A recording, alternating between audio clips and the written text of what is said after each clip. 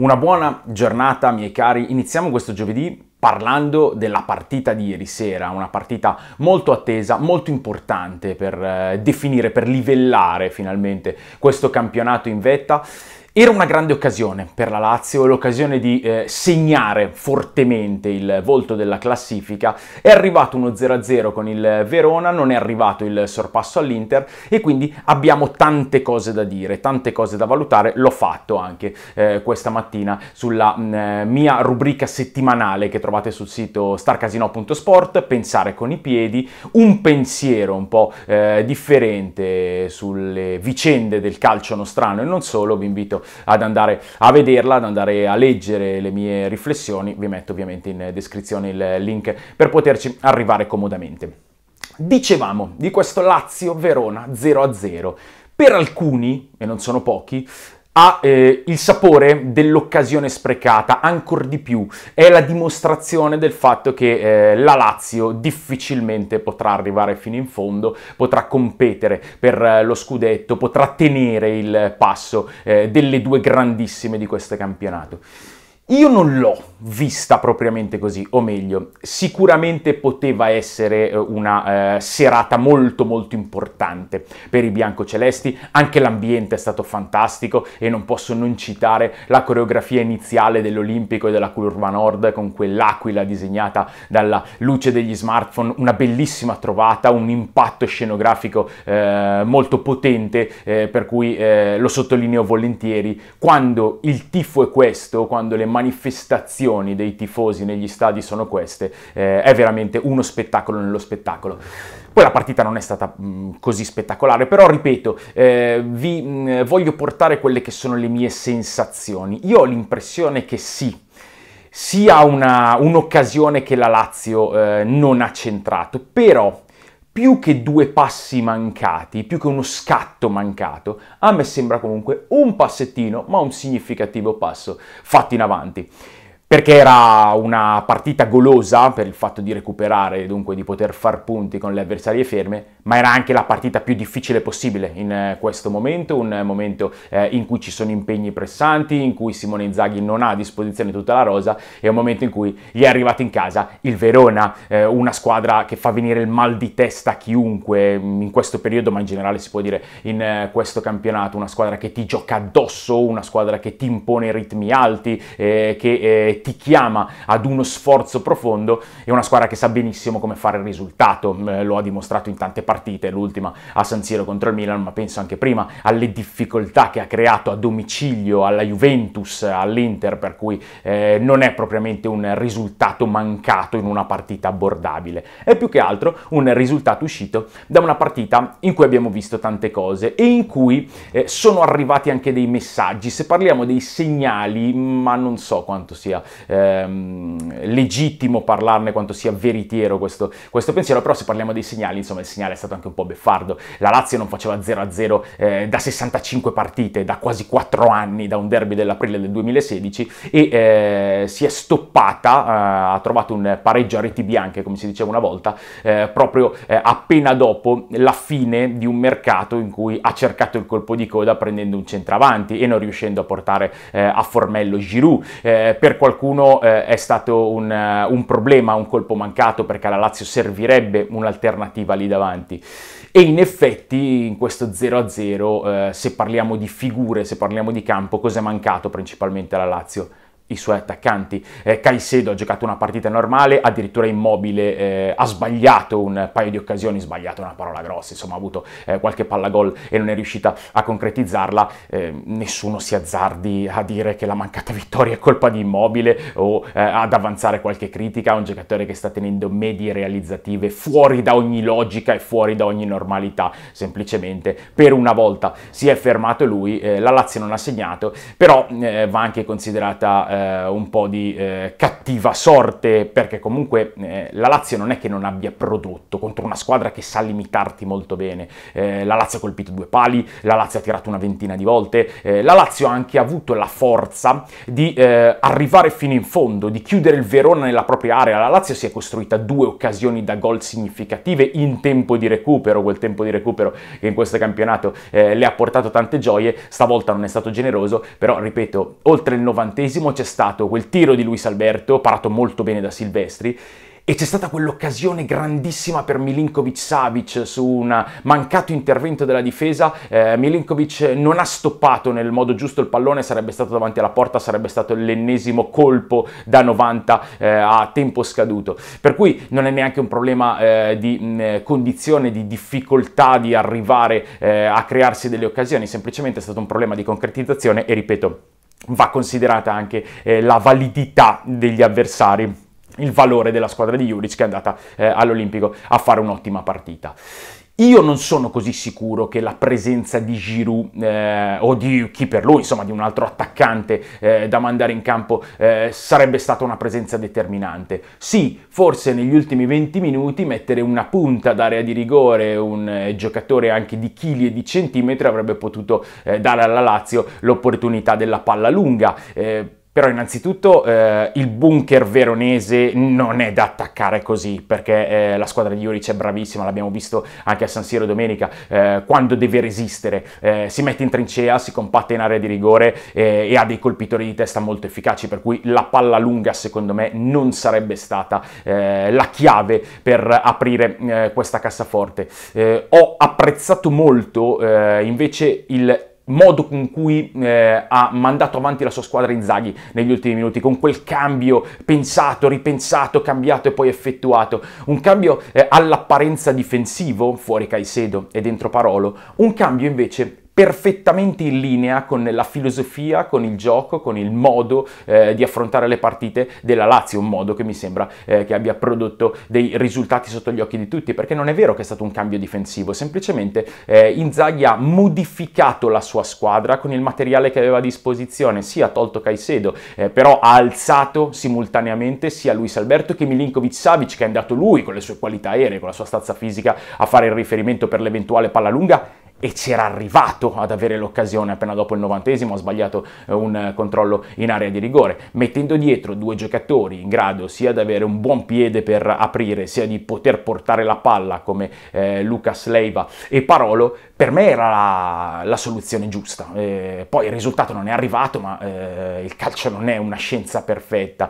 eh, il calcio è l'arte di un pallone rotondo che può rimbalzare ovunque e può scheggiare un palo piuttosto che finire all'angolino e questo determina un risultato. E ripeto, il risultato non è poi così negativo per eh, la Lazio perché il rischio eh, di inciampare seriamente contro questo Hellas c'era. Analizzando poi la prestazione dei biancocelesti, come detto, sono mancati una volta tanto gli attaccanti, ma mi sembra l'ultimo dei problemi, non è mancato Luis Alberto. Eh, Luis Alberto in un momento in cui, secondo me, non è al massimo proprio della brillantezza fisica e anche reduce eh, da qualche problema, eh, tecnicamente invece è sempre l'imperatore di questo campionato, un giocatore magnificente, eh, un giocatore anche un po' sfortunato al tiro perché è andato a prendere ancora due pali eh, e mi pare che si chiama quattro altro nel corso di questa stagione. Eh, un'altra sua, altre due sue rasoiate sono terminate molto vicino ai pali con il portiere fuori causa. Eh, Silvestri gli ha negato il gol eh, proprio con quella stoccata sul finale e al di là di questo Luis Alberto è una calamita tecnica. Il pallone sembra voler andare da lui, come succede solo con i più grandi. Forse davvero va da lui perché sa che viene trattato con tutti i riguardi e con eh, il massimo eh, della mh, proprietà, con il massimo dell'eleganza. Luis Alberto è un giocatore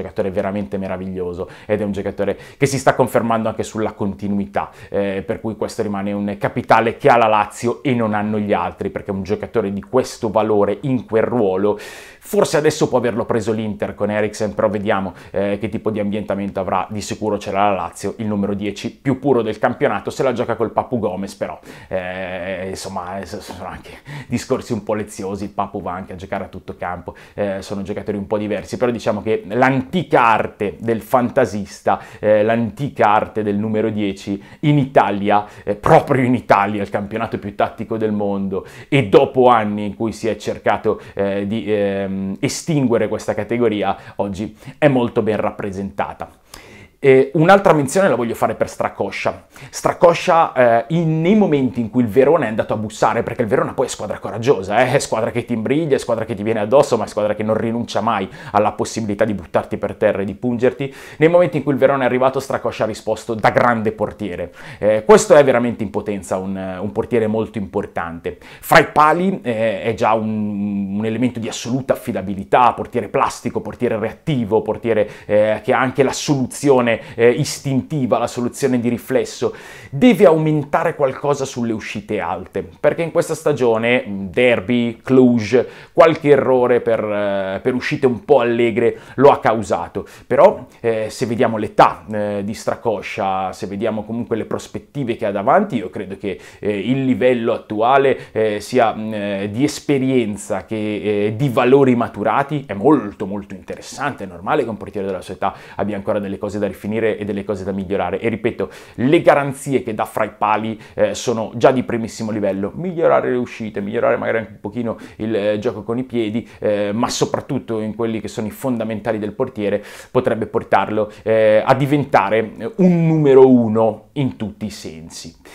Poi per il resto la Lazio incassa a questo punto, mi è piaciuta la serenità con cui ha parlato Simone Inzaghi alla fine della partita, eh, allineata al mio pensiero che questa eh, non è eh, una occasione sprecata ma eh, un'ulteriore testimonianza eh, di eh, passi avanti. adesso c'è una partita cruciale, la partita contro il Parma di domenica, perché lì invece il risultato deve essere fatto, deve essere un risultato pieno, altrimenti ci si comincia un pochino a impassare stare eh, con i piccoli passi ed è una partita in cui la Lazio eh, probabilmente non recupererà ancora Joaquin Correa, ecco discorsetto sul Tucu.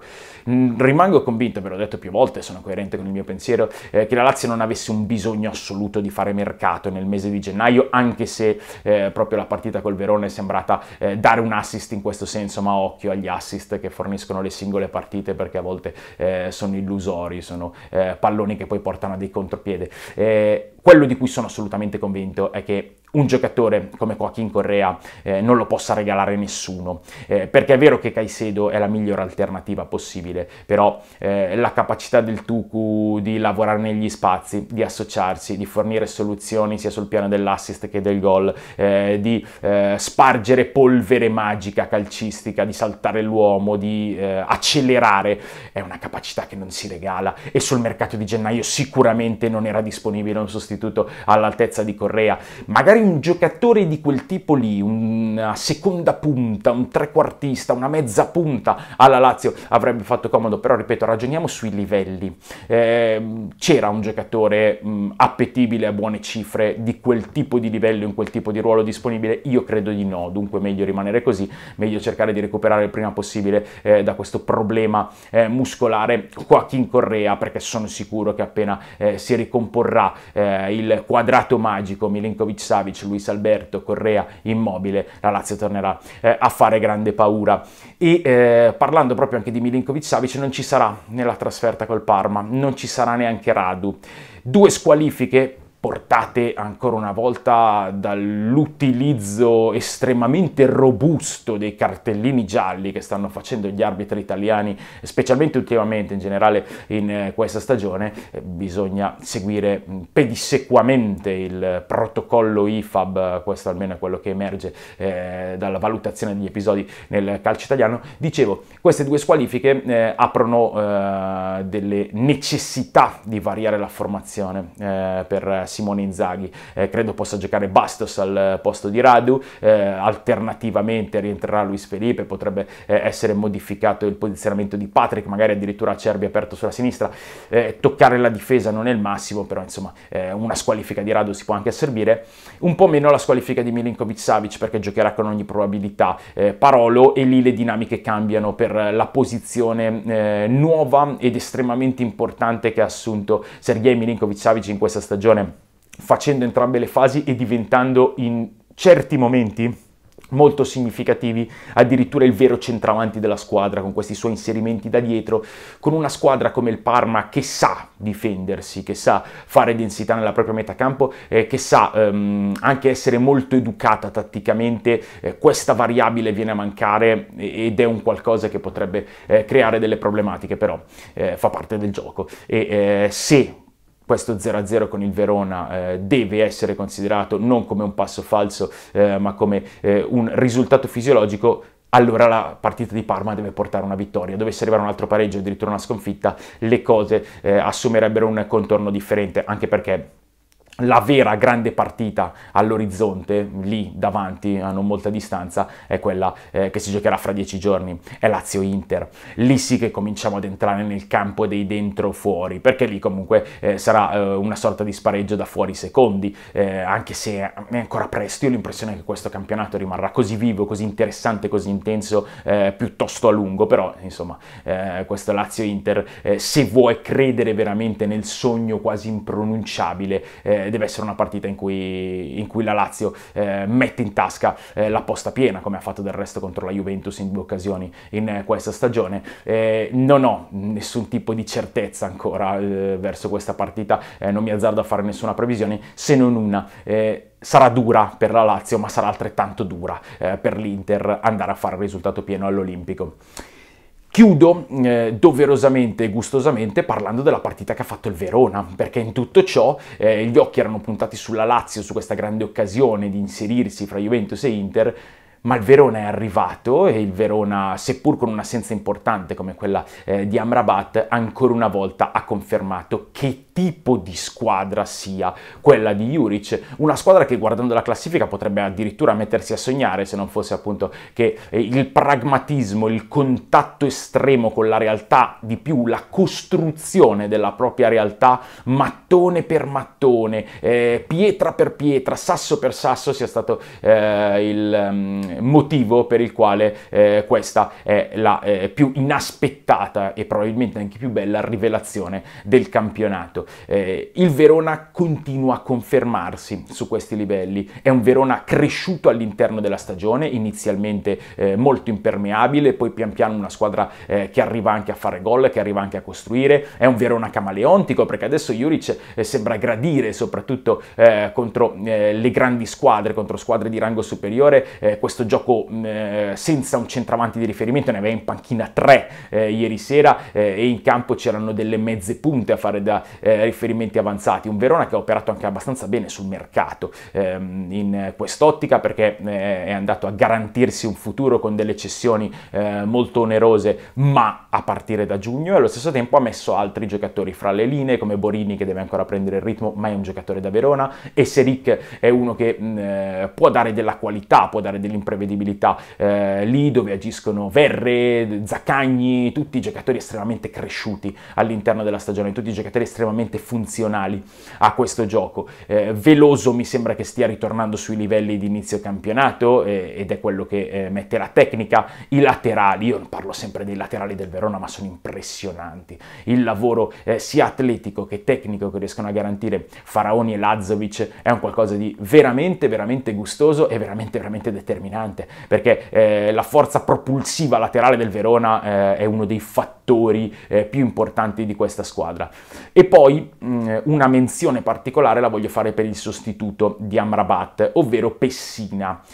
Altro giocatore che mi piace molto perché è intenso, è discretamente qualitativo, è un giocatore estremamente focalizzato che puoi trovarti in area di rigore con i suoi inserimenti quando gioca da trequartista, ma che sa anche tornare all'antico, al suo ruolo originale, quello in cui è cresciuto e si è presentato, ovvero quello di centrocampista centrale puro, ha fatto una partita ottima, Pessina, ed è eh, un elemento di polivalenza, un elemento di mentalità, un elemento di valore, un altro elemento di valore a disposizione di questa splendida splendida squadra che stramerita la sua classifica contro ogni pronostico, ma eh, grazie ad ogni minuto di realtà stagionale. Eh, e non fatevi ingannare dall'atteggiamento di Juric, dal fatto che sia stata sottolineata la sua esultanza per uno 0-0 all'Olimpico. Io penso che eh, il 95% eh, delle squadre del mondo oggi esulterebbero per non perdere eh, contro uh, un treno lanciato come la Lazio.